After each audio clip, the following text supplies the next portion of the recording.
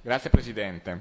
Io sarò breve perché, perché, molte delle cose che volevo dire sono già state dette. Eh, giustamente è stato rimarcato come questo PDL è complesso, complesso nel senso che tratta diversi argomenti, ben quattro, di cui certamente il più importante, come ha giustamente ricordato il consigliere Bianchi, è eh, l'articolo riguardante, la parte riguardante il minimo del flusso vitale.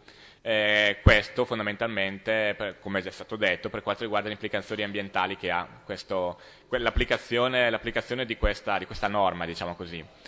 Eh, a proposito di questo, eh, e questo è stato rimarcato anche dalla discussione che c'è stata in commissione, fondamentalmente basata solo sul minimo del flusso vitale, e dagli emendamenti che ci sono. Da questo punto di vista noi ci sentiamo di concordare con quanto ha, detto, ha appena detto il consigliere Tomasi. È vero, questo, questo, progetto di legge ha molte parti condivisibili, noi lo diciamo, tanto è vero che noi in Commissione abbiamo votato a favore degli articoli 2 e 3, e per cui è vero, questo, questo PDL è un passo avanti. Però è anche vero, come dicevo, che la parte del minimo del flusso vitale è la cosa più importante. Anche a noi sembra che sia mancato un po' di coraggio, lei giustamente il Terzi l'ha detto. Eh, coraggio perché evidentemente molte derivazioni, concessioni e captazioni rimangono fuori dalla misura in continuo del minimo del flusso vitale e, dalla, e dal monitoraggio dei dati per tantissimi anni.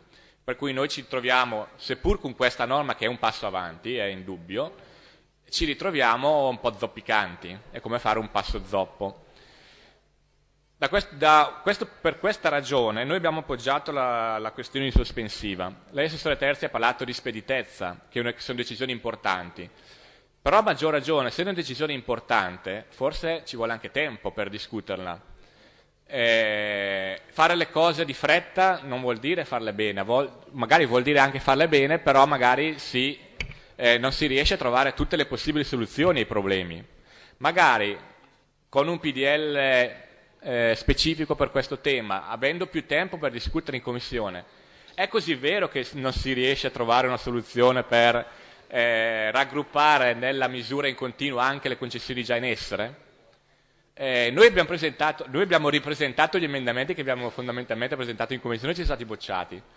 Lo abbiamo fatto eh, perché comunque ci sembra giusto discutere anche qui, in questa sede, di, questa, di questo nodo che è il nodo centrale di tutto il PDL. Voi ci direte che non vanno bene, vabbè, ci, ci direte le motivazioni. Magari qualche emendamento può, può essere, eh, diciamo così, un po' troppo azzardato, come quello che prevede eh, il contributo del 30%. Ma questo è per dare un segno che, eh, per dare uno stimolo per trovare soluzioni, magari dando un contributo anche minore. Eh, magari, anche, magari incontrando l'Enel, tutte le, le aziende che fanno questo, magari anche in commissione avremmo potuto farlo eh, per discutere con loro e trovare una soluzione.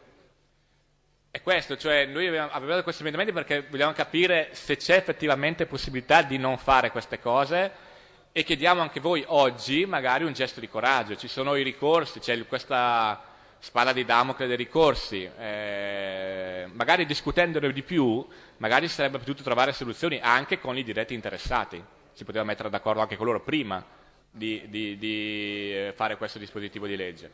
Per cui, per cui, ecco, noi ci vediamo dopo per la discussione degli emendamenti. Comunque anche, anche per noi ecco, magari un po' più di calma e un po' più di coraggio non, non sarebbe stato male. Ecco. Grazie.